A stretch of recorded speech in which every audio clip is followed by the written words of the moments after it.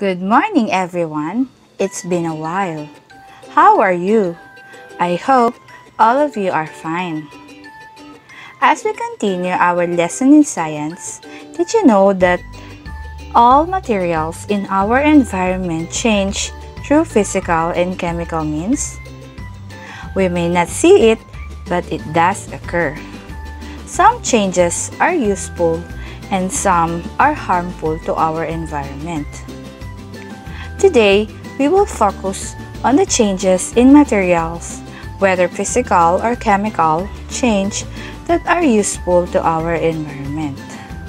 You will also encounter different examples and how the environment benefits from this change. This will be our expectations. Number 1. Identify the change in the given material. Number 2. Explain the good effects of some changes in materials to one's environment. And number 3. Cite examples of change in materials that is useful to one environment.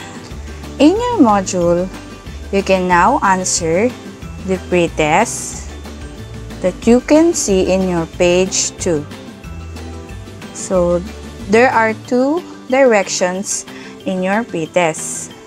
Letter A is write PC on the line if the change in material is a physical change and CC if it is chemical change. And for the letter B, you're going to write the correct letter of your answer. This will be the same in your looking back. You're going to write the letter of the correct answer. Now, let's have a review. Last time, we don't have online class on our week 5 lesson. So, let's have a quick review. Our topic last week was solid-liquid mixture, liquid-liquid mixture, effects of temperature in dissolving materials. For question number 1, which of the following is an example of solid-liquid mixture? A. Alcohol and water. B. Sugar and water. C. Oil and water. And D. Soy sauce and vinegar. The correct answer is letter B. Sugar and water. Sugar is the solid and the liquid is water. The next one. Which of the following is an example of liquid-liquid mixture? So this is very easy. Letter A, detergent and water.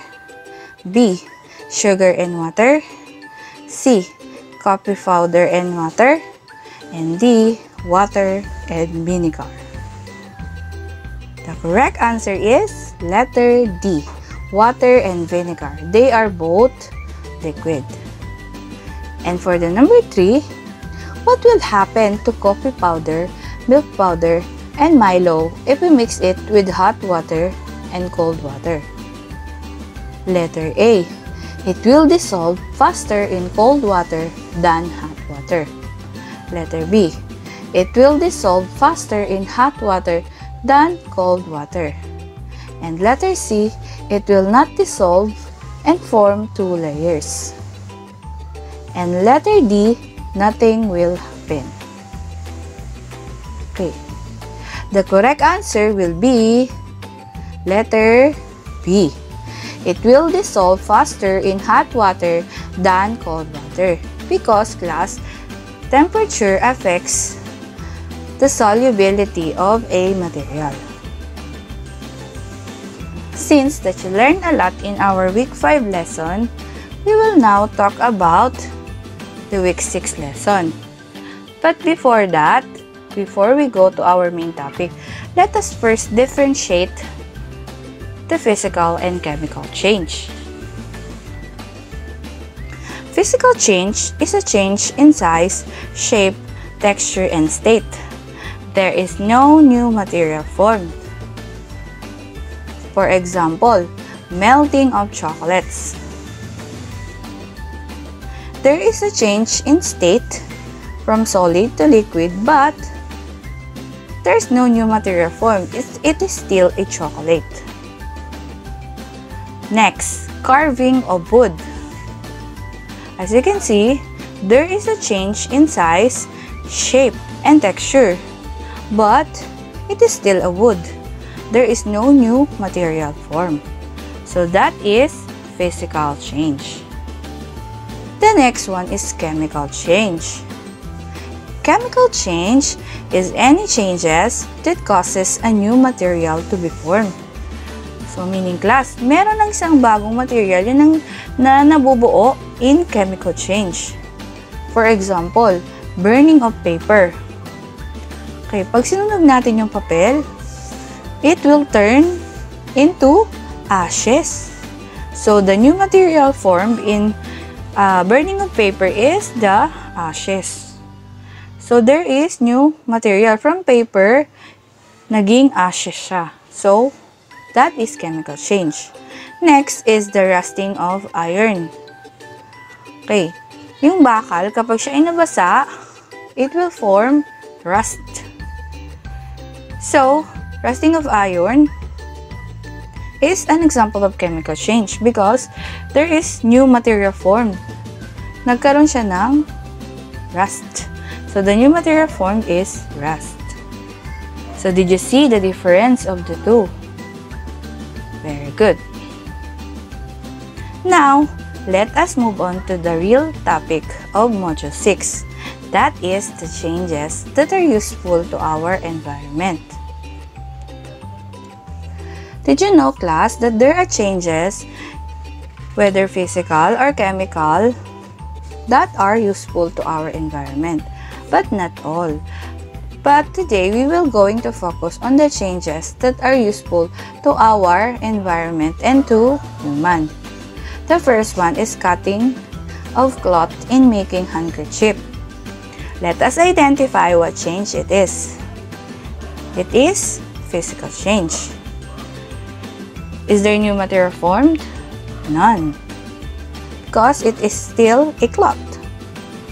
Is it useful? Yes because we can use it in wiping our sweat. The next example is cutting or shaping of wood in making furniture. Uh, let us identify the change. It is physical change. Is there new material formed? None, because it is still a wood. We just shape it and cut it. Uh, is it useful? Yes, because we can use it as a furniture. Our third example is converting tin cans or old bottles into plant boxes. Let us identify what change it is. It is physical change. Is there new material formed? None, because it is still a can. We just decorated it to make it more beautiful. Is it useful? Yes, because from 18 cans, we can also use it as a plant boxes. Our fourth example is shaping old tires into animal figures. What change it is? Physical change. Is there new material formed? None, because, because it is still a tire. We just paint it to make it more beautiful. Is it useful? Yes, it can beautify our environment.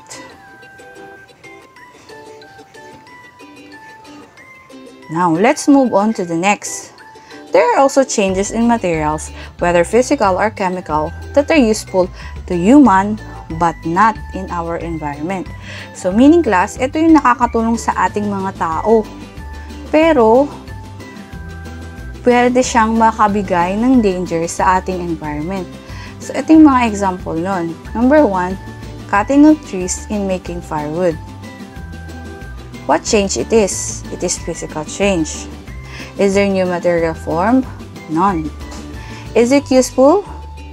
Yes, to human because pwede natin siyang gamitin na panggatong sa sa pagluluto. But it is harmful to our environment. Bakit? kasi ang pagpuputol ng puno ay nagkakos ng flood. So, these are just useful to human, but not in our environment. The second example is changes that are useful to human is burning of wood in making charcoal. What change it is? It is chemical change. Is there new material formed? Yes. We created a charcoal. Is it useful? Yes, to human. Kasi pwede natin siyang pang-ihaw and it can also be a business to other people.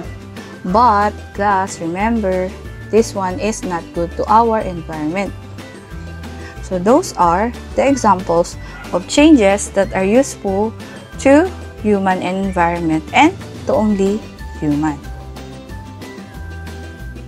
That's all for today. I hope that you learned a lot for this day. This is your science teacher, Mom Jabel de los Santos. See you next week, class. Bye!